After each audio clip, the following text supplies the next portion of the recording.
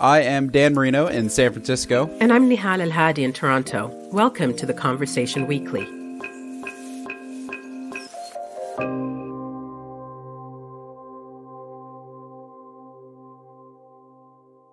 So, Nehal, you have probably seen some of the many headlines recently talking about the moon, our celestial neighbor here in the solar system. Uh, you been paying attention? Are you a moon fan? Yeah, it's wild. When I was growing up and until now, I love science fiction. It's totally my escapist genre of choice. And the thing with the moon is that it was science fiction that seemed a lot more tangible because as opposed to the rest of it, you can actually see the moon the moon is always right there. Absolutely. Yeah. I love sci fi too. And as I've been thinking a lot about we're going back to the moon as a species, what does this mean? How are we going to do it? All those sci fi stories, well, they all got some conflict. You know, it's not good literature if it's all hunky dory up in space. Sci fi deals with issues that are reflective of society. And I think as we expand off Earth into space to the moon, there's a risk that those problems are going to come with us. Yeah, we don't we don't have a good history in general with exploration as humans. So part of me is really cautious about what's going to happen when we start expanding our frontiers beyond our planet. But I'm also really interested as a science and science fiction buff as to the kind of challenges that are posed by this exploration and how we're going to work at achieving them. Well, those two questions A, how's this going to work politically, internationally, legally, and also B, how's this going to work scientifically and technologically are exactly what we are covering today in this episode. So, to start us off, I called up Mahesh Anand. Mahesh is a professor of planetary science and exploration at the Open University in the United Kingdom.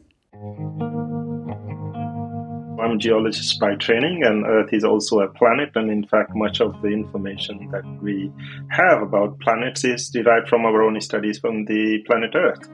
Uh, but in this case, I left Earth after I finished my PhD, so to speak, and then I uh, landed on the moon. It's all metaphorical, but I was very lucky to be introduced to the fascinating world of lunar science. And given that I'm a geologist, I work with rocks, and those rocks were from Earth. Now I'm working on rocks from the moon, and some of those rocks were those that were collected by the Apollo missions, uh, but also lunar meteorites, which are increasingly becoming available for research. Hmm. A lot of times, the first question people ask when they hear that the world is going back to the moon is why?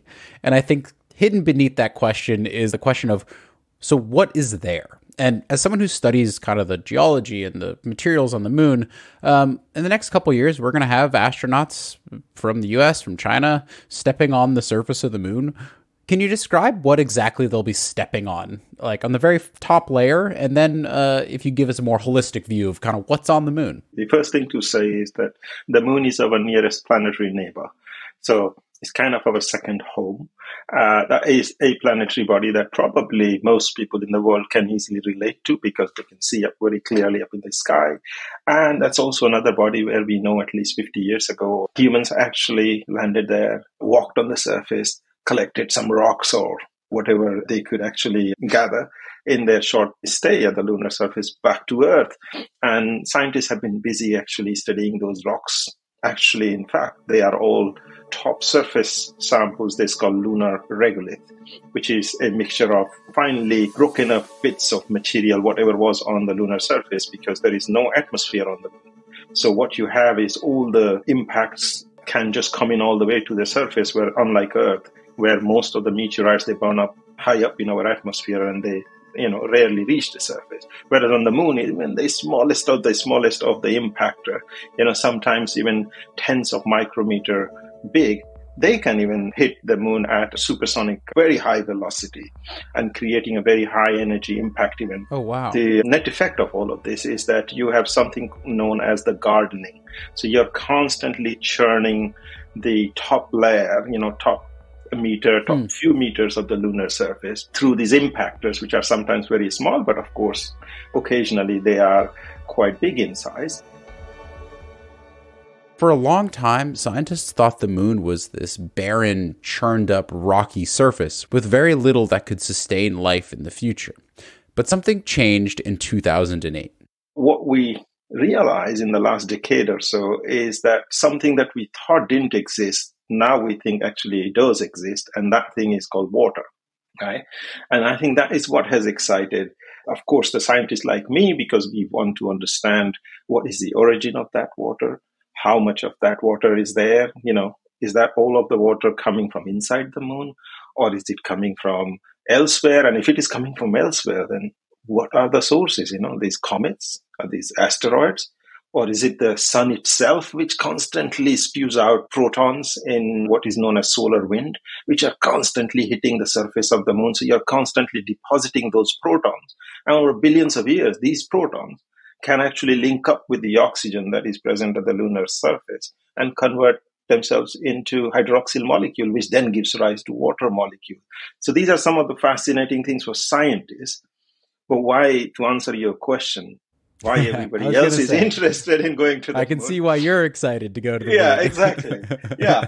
So uh, I think I'm just a you know poor scientist who is interested in furthering the knowledge about our solar system.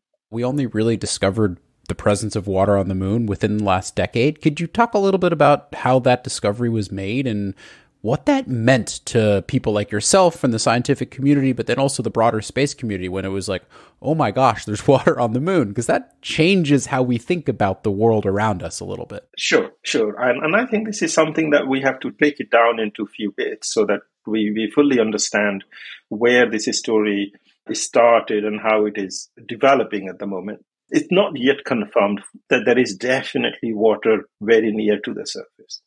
Yeah, it's not confirmed in the sense that no instrument has actually landed at the lunar surface and touched that water. Yeah, or, or no sample has been collected from the moon that actually says, "Oh, actually, look, there is water ice." Now I'm going to bring it back to Earth so that somebody can check how much water is actually in there. So that has not been done. And when I say water ice, uh, the reason why the water might be in an ice form is because this water deposit is suspected to be present in areas of the moon, which are often and most of the time they stay at very very low temperatures. So we are talking about temperatures as low as negative 200 degrees celsius. I mean temperatures that we don't encounter anywhere on earth you know the extremes of temperatures we encounter on earth places like arctic or antarctica and we are still talking about negative 50 negative 60 maybe right? But i'm talking about negative 200 and even lower. So in those regions which are under permanent shadow and that's why they are so low in temperature the hypothesis is that actually there is a lot of water present as water ice in these permanently shadowed craters, which are very difficult to reach, difficult to see, in fact, these are so dark that how do you actually see inside those craters? You know, uh, you can't send a robot because mechanically operating something in such low temperature isn't feasible. And if you can't see where you are going, you may encounter other difficulty because you have no idea where you are going. You know, what material sure, you are actually sure. driving on, right? So these are some yeah. of the challenges which are going to be addressed. But before we do that, there are other areas on the moon where, again, there is a tantalizing possibility that there could be some water present in the form of water locked inside the minerals. So, this is not water ice, but actually components of water, whether it could be OH, which is called hydroxyl molecule, which if you add many of the hydroxyl together, you form H2O. And these hydroxyl molecules could be locked inside minerals right? So they can be present outside these permanent shaded craters. So the question is, are there many types of water on the moon? I mean, this is another exciting progress we are making is there is one type of water which could be present as water ice in the permanently shaded craters. There is another type of water that could be locked inside the minerals that you could actually liberate one day by doing some chemical processing. And then there is another type of water that is produced by solar wind depositing a lot of protons directly into the lunar regolith, where it actually finds oxygen as its friend, and then that hydrogen connects with oxygen and produces water. So we think that all different types of water are present all over the lunar surface. So you might be wondering why we didn't know this stuff back in the 60s and 70s when astronauts were actually going to the moon and stepping on the surface and bringing back rocks and samples. Well, one reason is that all of the lunar samples collected by the Apollo astronauts come from the same area, the near side equatorial region, which was the safest place for astronauts to land and is an old lava field. Because they didn't land in these frigid, difficult to reach areas, they didn't bring samples back from them. And then there's also the fact that science and technology have improved a lot in the last 50 years. And in recent years, researchers like Mahesh, who has worked on the Apollo samples, as well as scientists working on more recent lunar samples from China's missions to the moon, have been able to make some very important and interesting discoveries with regard to water. In our lab here at the Open University, we have an instrument called Secondary Ion Mass Spectrometer. It's called a mouthful, but in short, it is called SIMS, S I M S. And what it does is that it actually focuses on a very small area of a target mineral, let's say apatite, and it can actually detect the presence of hydrogen. And not only it detects the presence of hydrogen, it also can determine what is the hydrogen to deuterium ratio is. And deuterium is just another isotope of hydrogen. And it turns out that the deuterium to hydrogen ratio is very characteristic of where that hydrogen might have come from. So if that hydrogen is coming from the sun, deuterium to hydrogen ratio is one or some number. If pretty that, low, right? Exactly, because there is hardly any deuterium yeah. in the sun. So you're looking very, yeah. very low D to H ratio, as we call it.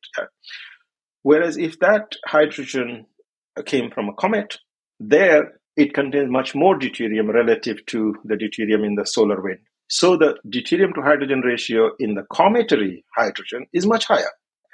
So in this mineral apatite within a lunar rock, when I'm actually measuring the abundance of hydrogen, how much hydrogen is there, but also its origin effectively, where it might have come from. And lo and behold, I mean, that's where we broke the new ground that from orbit, we were getting signatures that there is water at the lunar surface.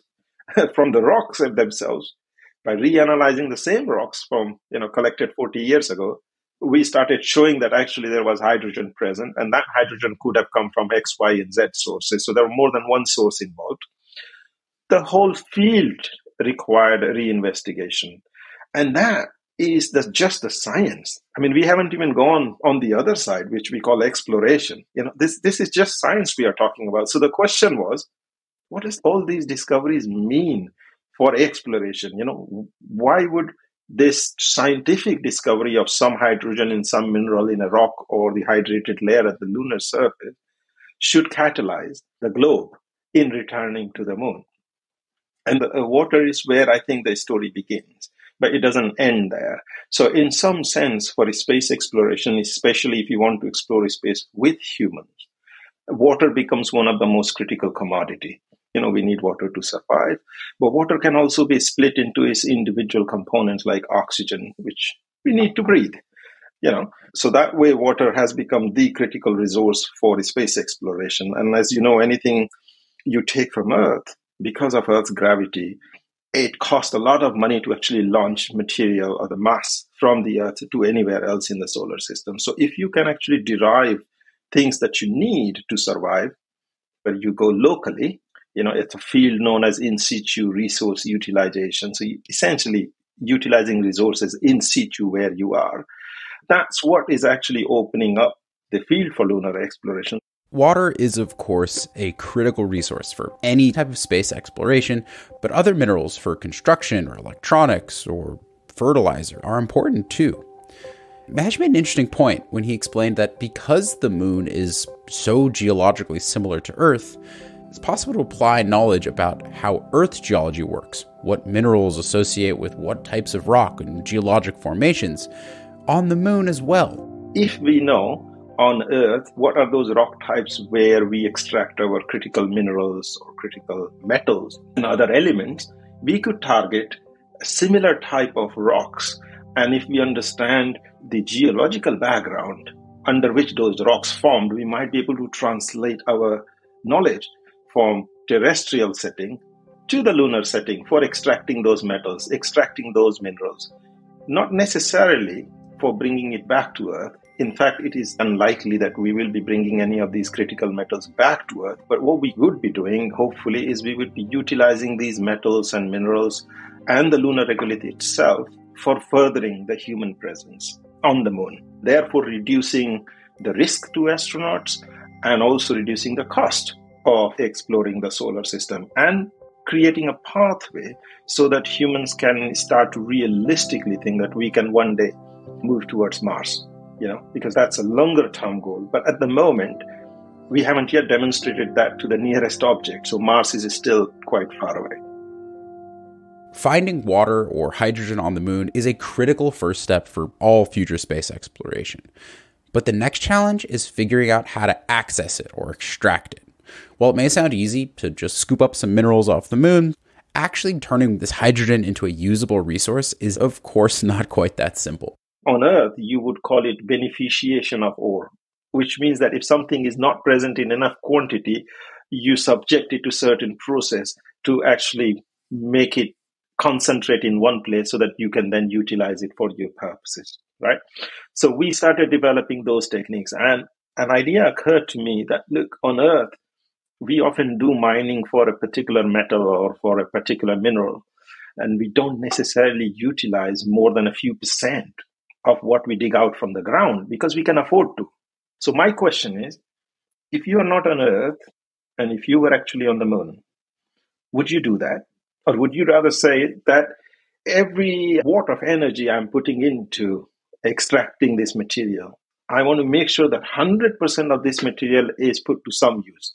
That is what is called zero waste or zero sum game, and where you have the most efficient use of the resources that are available to you. That is the most responsible way to actually do a mining activity. That is the most environment friendly way by which you are not actually creating dumps and mine tailings, which subsequently over the years become a health hazard, environmental hazard. You know, landslides and things happen when these mine tailings destabilize.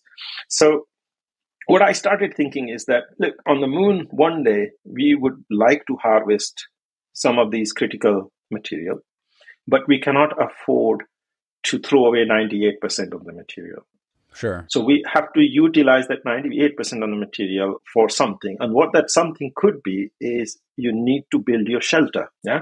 So why not consider using the remaining material for molding your bricks or creating structures, perhaps using 3D printing method so that you can build shelters for astronauts who would need to survive from this micrometeorite bombardment from cosmic radiations and all that. and you know most people don't realize that half of the earth half of the moon any rocky body in the solar system half is oxygen so if i give you a kilogram of rock and if you can extract all the oxygen from it you suddenly reduced it by 50% huh. because we are not always looking for oxygen because it is so freely available we never sure. think about extracting oxygen from rocks because it's a very energy intensive process. Because oxygen is available as a free molecule in our atmosphere. But on the moon, that is not the case. So, what we need to do is to utilize either the lunar water that you would harvest and you would split it into hydrogen and oxygen to create your oxygen, or if you can come up with a technique of utilizing that 98% of material waste from which you can liberate your oxygen, then you are reducing the waste, and the remaining waste can then be put through a 3D printing process to make a structural component.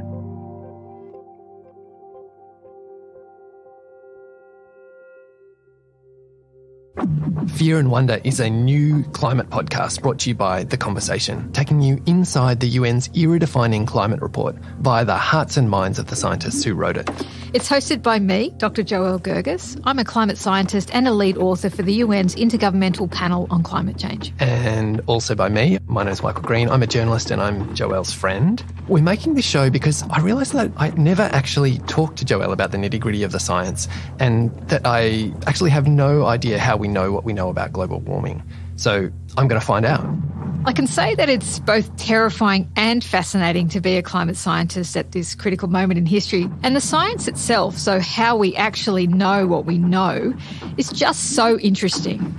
That sound you're listening to is lake ice forming at the start of winter in Finland. More on that in the podcast. Listen and subscribe by searching for Fear and Wonder wherever you get your podcasts or on theconversation.com. It's so interesting to imagine how we would use materials on other planets or how we would extract or use oxygen on the moon as opposed to here on Earth. And it makes me think about how all the ways in which we use materials elsewhere can change or shift the ways in which we use materials here on Earth, especially considering the challenges that we're dealing with in terms of managing environmental resources.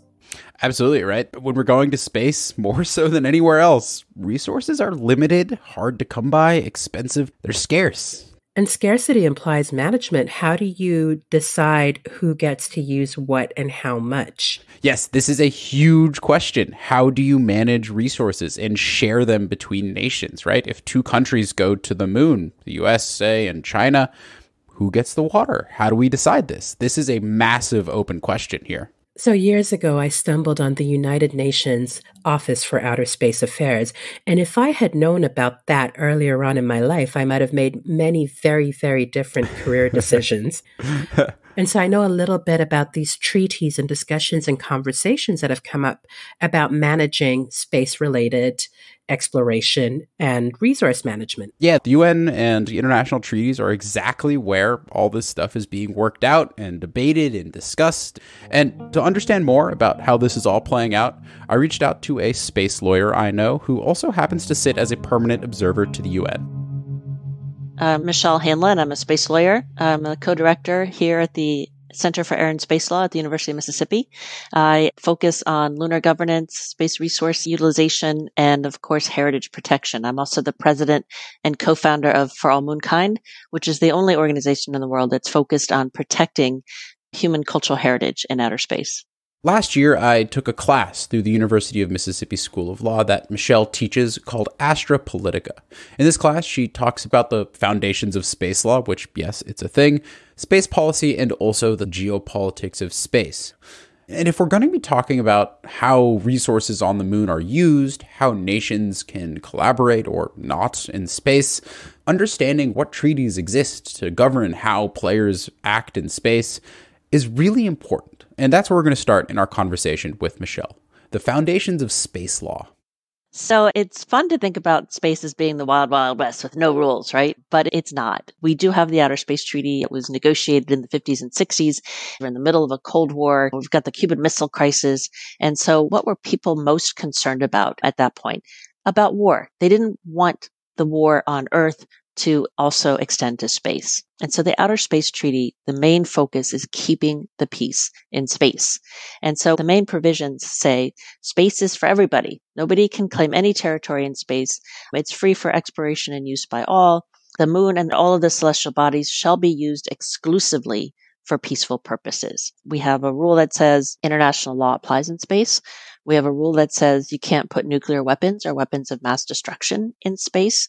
Um, and the final rule that sort of limits, if you want to call it that, activity is you will have due regard for the activities of others in space, whatever that means. So that was signed in 1967, and that has kept the peace in space for a long time. It's a fantastic document. A lot of people complain because it's like, well, now, you know, it says we can't own property, but we want to mine. Well, you know what? They weren't thinking about that in the 1960s. They were just wanting to make sure we didn't start putting missiles in space, right? And they did that. So now it's our generation, our time to figure out all of the things that we now can do in space. How are we going to avoid conflict or at least try and avoid potential conflicts with respect to overlapping activities? And so that's where we see ourselves today. The discovery of water on the moon has coincided with this modern resurgence of passion for space from big players like Elon Musk and Jeff Bezos, but also with national interest from the side of NASA in the US as well as China. And this has made getting to the moon a priority for a lot of people. And this time, the US and China and Europe really have the technology to do a lot more than just collect a few samples, take a photo, and leave. NASA, the US's National Aeronautics and Space Administration, has been working on the Artemis program for a while now. The first launch happened last year in 2022. The second Artemis mission is scheduled for November of 2023, and by the end of 2025, NASA hopes to put astronauts back on the surface of the moon. So the Artemis program is part of a larger program. The vision for the United States is the moon is a jumping off point. The whole concept is to look beyond the moon to get to Mars. So the United States isn't thinking we're going to harness the resources on the moon and make the world better. They're thinking we are going to learn a lot about what it's like to live and work in low gravity. And we're going to set our sights on Mars. But this time, NASA is not planning to go to the moon, much less to Mars, alone the learning from Apollo and the learning through space policy, when the administration, I think it was Obama, turned to asteroids and Mars, sort of lost collaborators because other countries are like, well, we could help with like a moon mission, but we can't even begin to imagine helping with an asteroid mission or a Mars mission. And what would we be able to contribute to that? So Artemis focuses back on the moon again and very specifically talks about collaboration we will only succeed if we can do this with as much diversity in geography as possible. And so, sort of holding hands out to all nations around the world to say, come join us in this effort to get humans back on the moon. The Artemis program is the technological and exploratory part of what you might consider a two part plan to help bring the United States and the world at large into this next era of space exploration. The other side of the coin here is much more political in 2020, the United States introduced the Artemis Accords, a set of international agreements and proposals that are meant to really guide how countries can interact sustainably and peaceably in space. It's not a treaty. It's not a binding document. It's like a multilateral memorandum of, of understanding saying, if you want to join us in our effort to go to the moon and put humans on the moon, then we will all abide by these same guidelines and principles that we've captured in the Artemis Accords what's kind of laid out in the both the program and the accords here? So the the program is looking to create a permanent human presence on the moon. We're going to the moon to stay. And so the first concept is using in situ resources, using the stuff that's on the moon to build the stuff we need on the moon. So that's how we'll create sort of permanent habitats and, you know, figure out how to harness solar energy and so forth and so on. And so the Artemis Accords follow in that. And, you know, we have this concept. We already have an outer space treaty, which has two pages of guidelines and principles.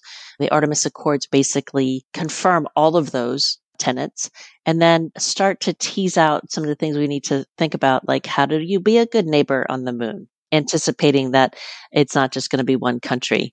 And that's where we start talking a little bit more about things like, well, you can't own property, but if you have stuff on the moon, you want to be able to protect it somehow, or, you know, you don't want somebody to come and mine your water and those are the things that are being sort of teased out and tested now. How many countries have signed the accords? So now we have 23 countries that have signed the Artemis Accords. Okay. Two African countries, several Asian, but it, it's 23, um, pretty widely distributed around the globe. And some are traditional allies of the U.S., others aren't. So that's the Artemis Accord side. This is one group of nations really focused on getting back but the other side is China, Russia. And China and Russia have announced that they're going to develop a lunar base together.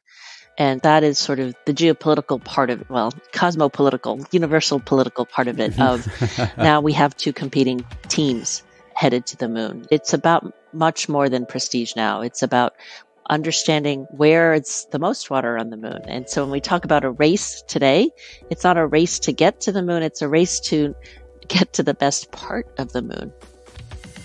And there's been, I know, a number of other kind of smaller but important treaties regarding space activities. But if we're going to focus on the moon today, who governs the moon? Is what are the processes for resolving disputes? Right? Let's say China, the U.S. We both say, "Hey, I want to land right there. That's where there's the good water. There's some sunlight most of the year. I'd like to put a moon base there." What's the process for resolving that dispute? Or have we had any examples of those sorts of disputes yet, or are they brewing right now? So this is why space law is so much fun because there is nothing in place at this point, and it's that's really what we need to figure out how to do. Right now, if you launch something into space, into orbit, you notify the United Nations through your country, right? We don't have a registry for things that go to the moon at this point but we need one. And there are mechanisms in place. So Article 11 of the Outer Space Treaty says, why don't you tell the UN what you're going to do up there? And the UN will record it. And so that's one way maybe of doing it. But you can't go and walk up to the UN and say, I, I'm going to go here. I claim this. Don't, you know, make sure nobody comes too close to me. We don't have that. And we actually have a treaty which makes it impossible to have that because Article 2 of the Outer Space Treaty says no state party, no nation may claim territory in outer space by claim of sovereignty or by any other means. If a state, a nation, can't own territory in space, how is property divvied up, right? It's divvied up by our government. And so if we don't have a government who has territory, where do you go? So, what's kind of the dialogue going on right now, and how do the Artemis Accords, as the U.S. kind of centric stance here, at least to start with, do they address this directly, indirectly, leave it out as discussion? What's the kind of process here? Are we just kind of sidestepping the whole problem? So, there's been a sort of slow emergence of a concept called safety zones. And so if you can't own property, then maybe because of Article 9 of the Outer Space Treaty, which says you have to have due regard for others, uh, maybe when you set up your installation, due regard means people have to avoid you. Um, and so this is, uh, I just want to point out that, you know, we have that Article 2, which says you can't own property, and that's very clear. But then we also have an Article 10, which anticipates that people will have installations on the moon. Um, and so that's a funny dichotomy. So we've got this concept of safety zones. And in the Artemis Accords, there's a whole section sort of explaining what they would do. And they actually characterize them as notification zones. So not saying, hey, if I land here, this is mine and you can't come near, but hey, I'm here I'm happy to have you come in, but just let me know when you want to come and I'll figure out the best way for you to approach me so you don't ruin my operations. Again, the Artemis Accords have been agreed to by 23 nations, not by Russia or China. Russia, in its current state, has called the Artemis Accords colonialism, you know, American supremacy at its worst, so forth and so on. China has criticize the accords not because of any particular reason, except to say all space laws should be made at the United Nations. And so, United States, you did this wrong by creating this multilateral agreement outside of the UN system. And therefore, we don't approve it. But China has never said we don't agree with your interpretation of Article 2. They haven't said you can't use resources because China has done it itself, right? China's brought moon rocks back and calls them theirs and they want to build bases just as much as the Americans do. So this concept of the safety zones is one of the things that has sort of percolated up into the forefront of how we're going to look at property in space. And China is the main other player. Obviously, Russia has historically been a very powerful space player, but it seems their power is waning for reasons, obviously, Ukraine war and the economics and various other things. Certainly not discounting Russia here. But would you say China and the U.S. led coalition are kind of the two big players here. I would absolutely, uh, let's just put it out there. I, I, would absolutely say so. Administrator Nelson has said so. You know, at mm-hmm. the new year, he said, you know, we're in a race with China, and we are. There's a group in New Zealand, I think, that um, is opposed to doing anything on the moon including mining hmm. it. The, the moon should be made a person, you know, personhood for the moon. But I would say on a national level, on a state level, when we're talking about countries that are actually going to the moon, it is very much understood that everyone is going there to, to get access to that water. Mm-hmm. Uh, due regard and these safety zones. So let's dig into this concept because I think this is really the foundation of, I know how you and many other thinkers on this really see the way this process might play out. So let's put an example up there, right? You and I, Michelle, we build a little spacecraft, we fly it to the moon, we land, and we start harvesting some ice so that we can grow some tomatoes or whatever. What does this process look like if, say, my neighbor, who also has his own little spacecraft, wants to land it nearby? Like, what are some of the concerns there that due regard might bring up that technologically might be an issue? Dust, I know, is a big problem potentially what are the things that might tangibly be an issue? Because this is something that's going to be happening hopefully within the next couple years. It's very easy to think about it rationally, right? And just say, you know, well, if somebody's there, of course you're not going to go there, right? Because that's what consideration is. That is what due regard is. Just be considerate and understand, oh, there's somebody there. I don't want to disturb them. Um, unfortunately, we have to worry about geopolitics, even though it's off Earth. I mean, the moon is often called the eighth continent. And so, you know, geopolitically, I think we sort of encompass it with when we think about geopolitics. And so there's going to be strategic reasons that nations are going to be wanted to be at particular places on the moon. So if we take the states out of it, take the nations out of it, and if it's just you and me. And so you get there first, you found this awesome vein of water ice and you're just like growing tomatoes and you're looking forward to having tourists come so you can sell them your moon tomatoes. And I come along and I'm like, Hey, that's a really cool vein of water ice. I think I can tap into it too. Under the Outer Space Treaty, the only thing that we have protecting you and your rights is the concept of due regard. And what does that mean? And we have the International Court of Justice, which has looked at due regard and said it's a balancing act. You know, what rights were impinged? How could you have avoided impinging on those rights? And then what are the other alternatives that could have done? So what does that mean? That means that every single time there's a conflict, you got to go to court and do this balancing act. This is the lawyer's cha-ching provision, right? Because I can mm-hmm. argue balancing acts all day. I can argue for decades. Sure. And that is exactly what we don't want. Money going to lawyers like me. We want money going into the technology to make those the best damn tomatoes that anybody's ever eaten, right? So that is what we're dealing with. There's other, an even deeper issue because you and I are American and we have access to this technology. Maybe we're best friends with Elon Musk and I get there and then you get there and we're able to work out our issues and then 50 people follow us and all of a sudden all the good water ice is taken. Uh, well, what about, you know, our counterpart in Ghana or Peru?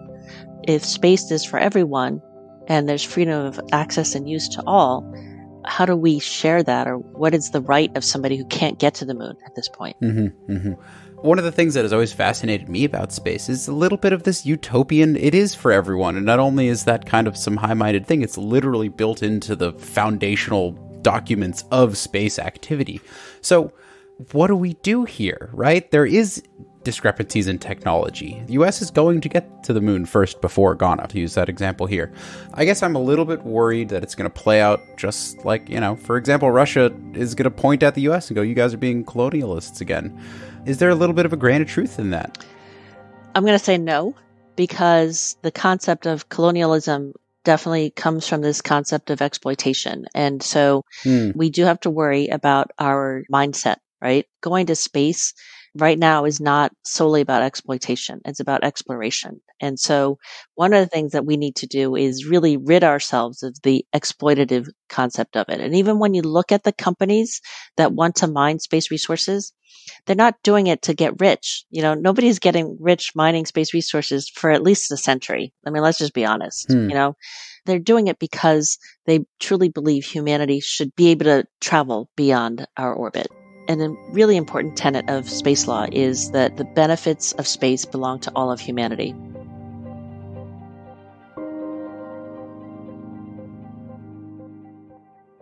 Personally, I'm I'm not sure that I'm quite comfortable with the idea of space or its benefits belonging to anyone. I think this is a nuanced point you're getting at here, Nehal. And yes, the tenets of space law say space can belong to no nation. There's no sovereignty allowed. But this idea of benefits and sharing is really kind of tricky here. And there's a lot of people that are arguing right now hey, yes, the United States, China, all these big, powerful countries are going to space. They're going to be doing things and gaining benefits. But what about other countries, right? Africa has a burgeoning space industry with more than 40 satellites in orbit. India is now launching tons and tons of satellites and doing excellent research, but they're not the leaders here. So the question is how do these benefits get shared? What does it mean to share? Right? Like this is what you're talking about, Nehal. What does it mean to share things that if no one should own them? You keep saying benefits like there's some kind of universal agreement on what a benefit is or will be or could be. And, you know, even at a much smaller scale, what benefits one person doesn't necessarily benefit another. Also, a benefit is the result of weighing the risk or the cost and determining that some particular choice comes out better over the rest. So, who gets to do that calculation? No, you're exactly right. And right now, it's the US, it's China, it's the most powerful space countries that are putting out their own versions of here are these benefits, here's how we're going to share them. and everyone else is welcome to join in. And to understand a little bit how this works in practicality and see how these benefits are quote unquote shared, we went back to Mahesh because Mahesh originally is from India. He grew up there and now lives in the UK and he studied in the US. And he has a really strong connection to this idea of the shared global space industry. And I asked him about it. Every country has its own constraints. Different countries are at different stages of their development, which means that the requirements, the needs of people for a particular country is going to be driven by their socio-economic status. Now, above all of this, we see all of these countries, whether they are developed, they are developing, they all want to go to the moon, which means that there is a commonality of where everybody wants to go. But that doesn't mean that everybody agrees there is only one way to go there.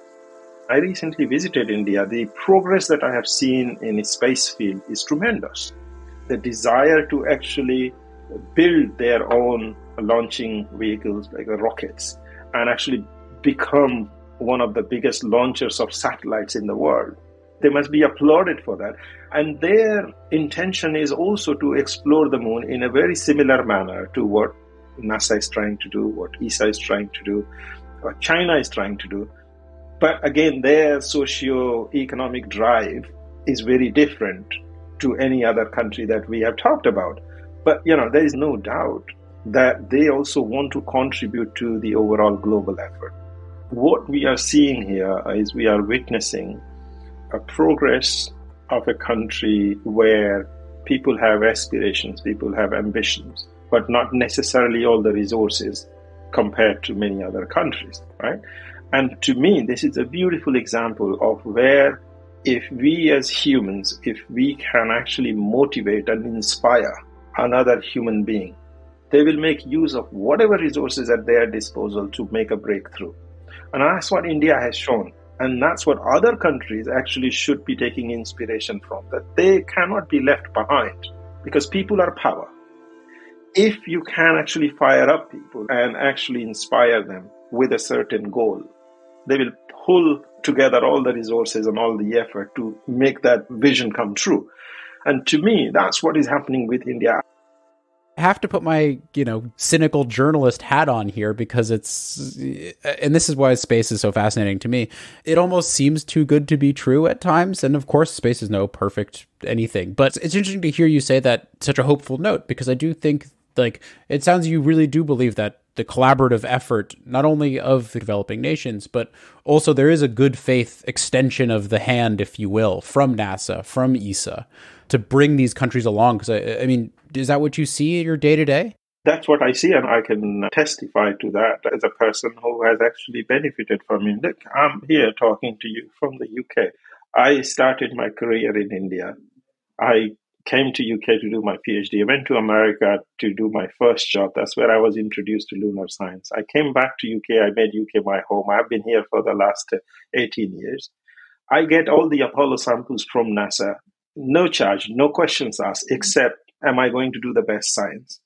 So I am one of the biggest beneficiary of 50 years ago, when I was not even born, you know, people were going to the moon and collecting rock samples so that I could work on this. I'm so ever thankful for that. And then when I worked with European Space Agency, I don't know who might benefit from it. I don't think about it when I am actually advising the European Space Agency about their strategy. It could be any country in Europe that could benefit from the input that I am providing when I work with my Chinese colleagues on Chang'e 5 sample, we don't think we are UK China. We are thinking, but we are trying to understand something about the moon. And when I went to India last month, you know, I was surrounded by 100 plus youngsters who were keen, you know, to ask questions and to find out about things.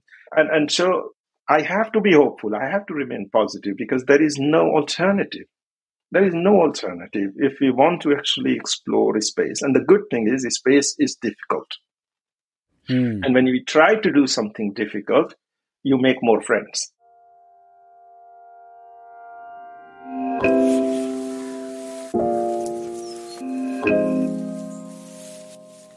That is it for this episode. Thank you so much to the academics we spoke to this week, Michelle Hanlon and Mahesh Anand. You can find us on Twitter at TC underscore audio on Instagram at theconversation.com or email us podcast at theconversation.com. If you like what we do, please support our podcast and the conversation more broadly by going to donate.theconversation.com. And if you like the conversation weekly, go check out the Conversation's new limited podcast series on climate called Fear and Wonder, as well as our other limited series called Great Mysteries of Physics. This episode of The Conversation Weekly was produced by Katie Flood and me, Dan Merino, and written by Katie Flood. Sound design was by Eloise Stevens, and our theme music is by Neeta Sarl. Stephen Khan is our global executive editor. Alice Mason runs our social media, and Soraya Nandi does our transcripts. Mend Mariwany is the show's executive producer. And I'm Nehal El-Hadi. Thank you for listening.